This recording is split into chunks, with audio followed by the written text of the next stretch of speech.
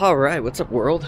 Um, man, it has been a really long time since I've done a street photography video, um, but that's what we're gonna do today. I'm in uh, downtown Grand Rapids, and uh, yeah, we're gonna go around and see if we can get some shots on the uh, Fujifilm X-E3, which is just a small little portable fun camera that I picked up for family fun vacation stuff.